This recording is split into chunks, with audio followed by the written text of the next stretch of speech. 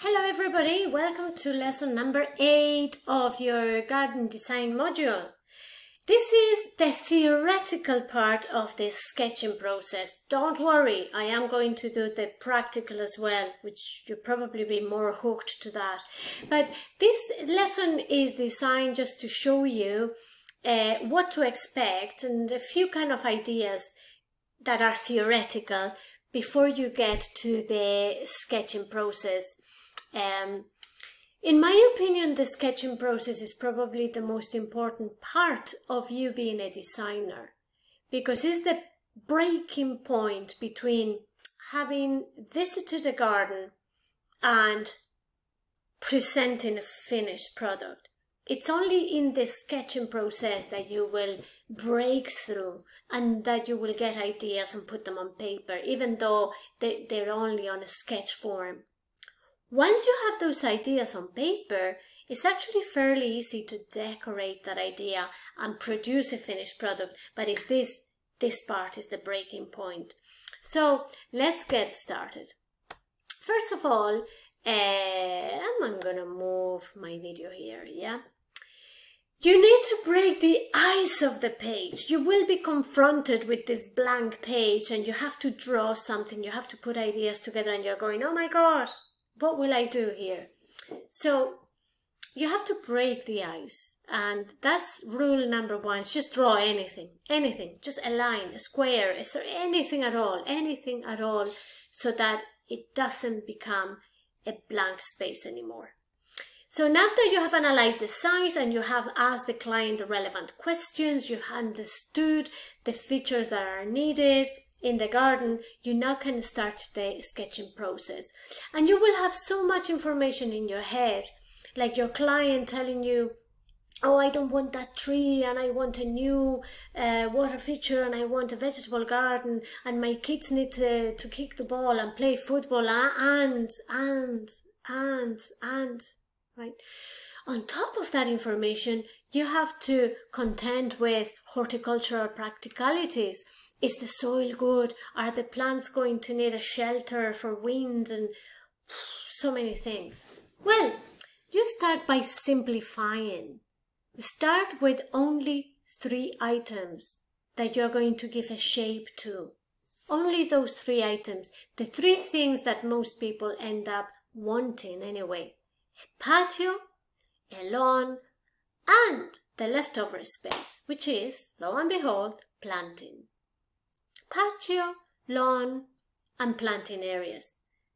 And don't give any attention to anything else. Don't become overwhelmed by these, by these other thoughts. That will come later, okay? So let me just bring this down a bit. As you do the above, the patio, the lawn, and the flower beds, you have to take into account that the patio usually takes about one third of the total space of the garden. It would be too much to take the half of the garden being the patio and the other half being the lawn. It's better if you just take one third to be the patio and the rest could be the majority of it lawn and then a small amount for plants. Of course, that's only a rule of thumb. It will vary depending on if your client wants large amount of planting or they might say to you, I don't want a lawn at all. Or they might say, I don't want a patio, I don't need a patio. So, of course, you have to gauge this depending on the type of client and their wish list. But for the most part, those three are essential. So avoid drawing flower beds first because you end up creating island beds, island gardens. So you have this square with blobs in the middle, no cohesion. So leave the flower beds for the end. Yeah?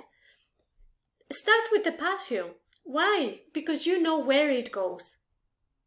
It goes straight away from the sitting room, normally. Normally people want to go from their dining room or sitting room or whatever area straight away into the uh, relaxation barbecue area. They don't want to walk across the end of the garden. Now, sometimes that is the case. Sometimes a patio could be at the end of the garden. Maybe because it's the only place that has uh, sunlight Yes, but for the most part, you know that it goes near the sitting room. So you start with the patio, get a shape to that, then move on to the lawn, it's the second step. And finally, you don't even need to draw flower beds. You don't. It's the leftover space that's that's going to host where the beds are. So I'm going to show you now uh, an example of how this process starts little by little. I'm going to do it using shapes rather than drawing, okay? Remember, in the practical video, I will show you by my hand the actual drawing of this sketching process. So let's start with looking at uh, something that you draw on the page. Okay, imagine this is your page, you broke the ice, and so you start with three squares. Why three? three squares or rectangles or whatever, because they are going to make it less monotonous than if you just draw one square. One square to represent the lawn becomes very, very boring, isn't it? And everybody can just draw one square. But if you do any large size rectangle enclosed with a medium sized rectangle of a different shape, sort of shorter or whatever, and then a third one, and you merge the three of them, meaning that some of the square here invades the space of the other one. Well, now the outer line of this becomes the lawn. Isn't that an interesting concept? But you put that inside the boundaries, not right up against the boundary. Put it inside the boundaries of your property, your client's property. Okay, so you have a lawn now. And that combination can vary. I mean, you can take, uh, sorry now, you can take this rectangle and make it longer and shorter you can then take this other one and make it wider. You can take the, this one and put it in another position. You know what I mean? You can play uh, musical chairs with it. And in fact, one of the things that works really well that I would do if I was you, just cut out pieces of paper with different rectangles and move them around on the table to see what different shapes you come up with. Then you add the patio so as I said earlier on, the patio becomes uh, one third, so way smaller than the lawn. But it is the exact same process where you choose three rectangles and you put them together, squeeze them together and put them somewhere near the lawn. So now the outside space becomes the patio. Do you know what I mean? You will you will eventually erase the inner lines, those lines there in, in the middle.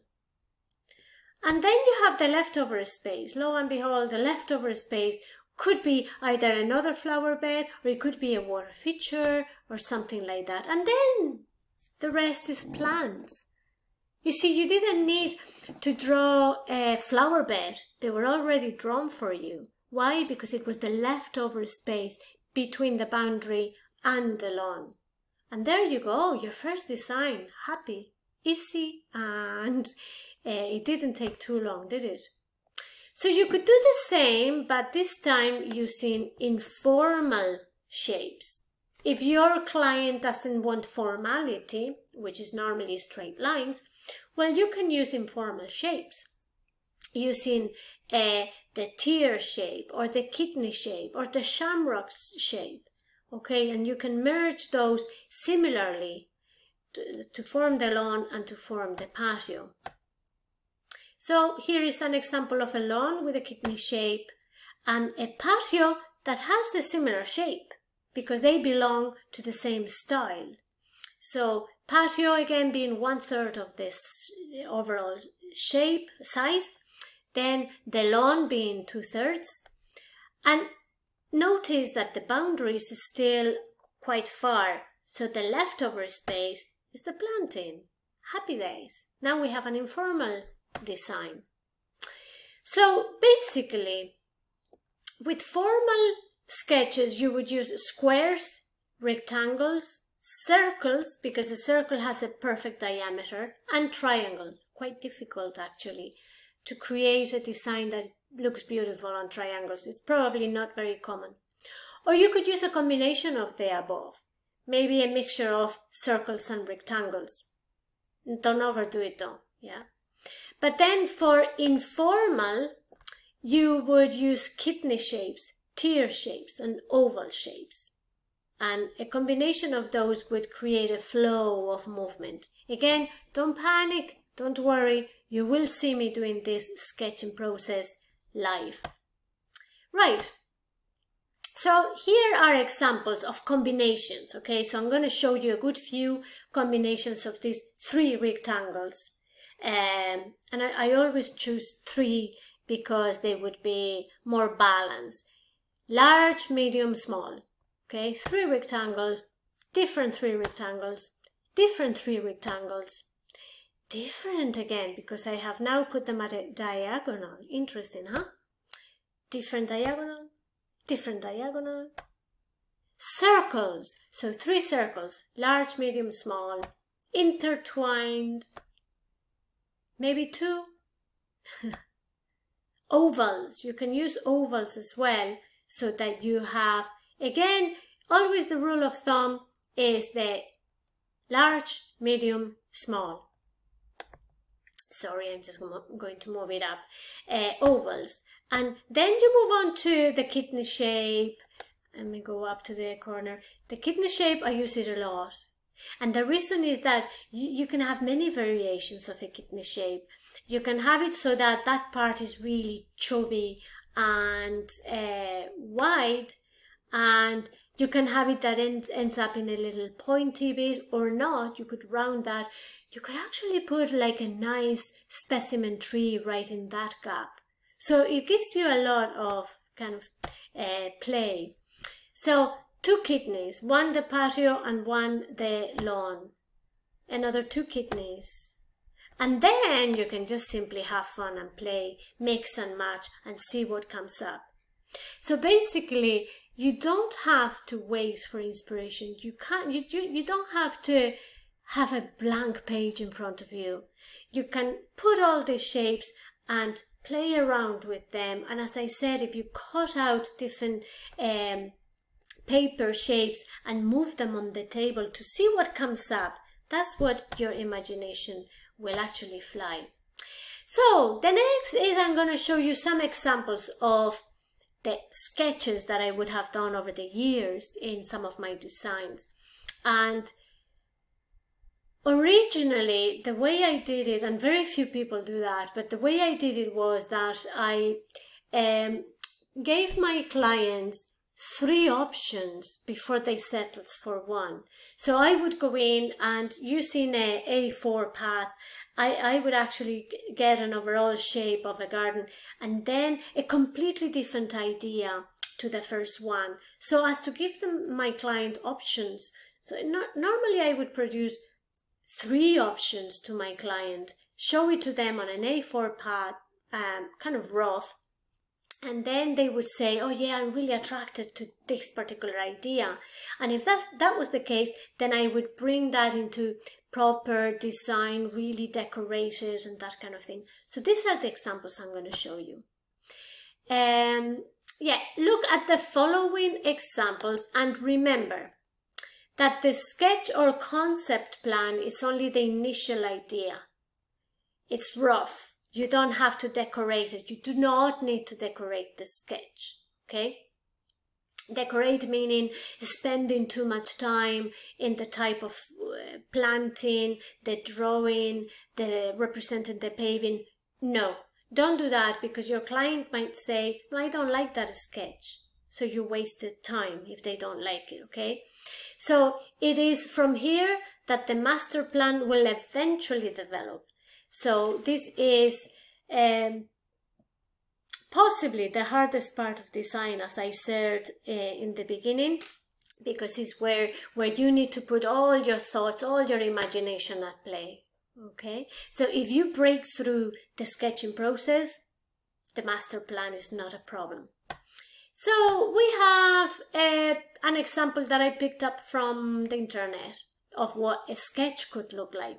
And it's just these kind of ideas where you roughly show the overall shape of the lawn, uh, where the house would be, and then have these blobs to represent maybe the hedging or the plants uh, in around the outside of the property. Maybe that could be the lawn, the a patio, a second patio. Maybe this, whatever it is, it's rough. It's not an actual finished product. That's another example there with your rough ideas. Another example with more formal ideas.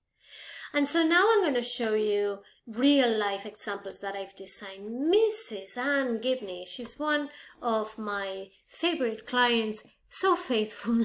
I have, uh, I started designing for her in 2003 and I've gone through all her family, her sons, her daughters, her cousins. Oh, I've designed so much for the Gibney family. But I started in 2003 and sorry, I'm going to move myself here at the bottom. So I gave Anne Gibney four sketches and these are they. This represents the actual house and this represents a, a work shed that she was building and at the moment the, the day that I actually visited her house. So the whole garden was between the house and that shed and in this i mean i'm not going to go through explaining absolutely every element but basically whatever you see the this kind of i can't find my mouse this kind of drawing that represents patio. So that's patio area patio area. Anything blank means lawn uh, and then obviously this is the planting areas it's two levels because she wanted levels, so I gave her steps on this one and a curvy path of gravel. So that's a curvy gravel path, steps from patio to patio, and then the lawn. So now that you know what means what, patio, patio, gravel, lawn, kind of a diagonal look. This one is more sort of curvy, this one is more straight lines, she liked the straight lines, so I went ahead and I drew the last one. So this is the three-dimensional version of her garden, which is fully constructed and fully grown now. And I only went a couple of weeks to see it, and it's fantastic. It's beautiful. I think. so this is it here now. It's a water feature that works in a way that the back waterfall looks as though it's joined to the bottom waterfall when you're in the sitting room. So if you, if you were in the sitting room, in the sofa, it would look as though the two waterfalls are one on top of the other. So that's there about four years ago. I obviously had this PowerPoint presentation ready, but the pictures of now, they look even better. So this is the same garden when you're looking at it from a different perspective. Okay, there's formality. She liked the formality in this garden, and that's the water feature there. Mrs. Linehan, this was one of my most brutal designs. one of those that I'd be embarrassed if I was to get embarrassed at these things. I don't. Um, I actually am really good at, at recognizing when my bad designs were there. Just to show you that design evolves from the, you know, kind of basic, bad designs, maybe good, mediocre, and then into the really good ones. So Mrs. Lenehan, I think that was 1990 something anyway. you can tell, can't you? But anyway, I did give her three different sketches. So this one where she had just like that's the house and that's the shed, planting areas, this is a patio, and here is the trampoline that was buried on the ground. So this is idea number one, number two, number three. She went for oh, number four, number five, number six. I gave her loads of ideas, but this was the finished product. Awful, isn't it? Now that was the day of planted. It was planted. Now I'm sure it's very mature I can't go to see this client anymore because she sold the property to somebody else and uh, she recently actually called me for doing another design for her large garden in Naas. But uh, this is now obviously, it will be fully mature. Mistakes I made, oh my gosh. To put the uh, trampoline on the ground was a good idea, but to have a stone flower bed beside it in case you fall and you hit your head against the stone, really, really bad. Actually, I encourage you to be totally critical with this design ideas. Okay, so there you go. Not a good design idea. Next one, Mrs. Shannon. She just wanted, a, it was a kind of tiny little garden, and she just wanted tear shaped lawn, a path to the shed, and a circular patio. Very simple. And that's it there. Mrs. Marin, I just got carried away. My gosh, I gave her about seven different sketches. But notice, I mean, I don't put a lot of effort in the de decorating the sketches. So uh, oval, a kidney shaped, a whatever shape that is, a lemon shape, a bit of mm, formality there, another kidney shape but different than that one. And yeah, they're all very different in their own right. Mr. Greeley, oh, I actually did like this design and it was constructed and it looked really nice. So these are the three sketches. He went for the one in the middle. My favorite was this one where I played around with the circles. So this one is formal. Lawn, patio. He wanted two patios, one in the back, one in the front. So the two patios are connected and a shed is there. So then that's just the lawn he wanted more patio than lawn okay? Uh, the second one here and then the third one which i thought was a lot a lot more moving where you have a path that is sort of s shape there quite nice i thought but he didn't like it. So he went for this one and that's the finished product. So this this image is now the finished product. I drew by hand those days and i did the three-dimensional version of it is there okay and Mrs. Dollard, that's when I started using a computerized program.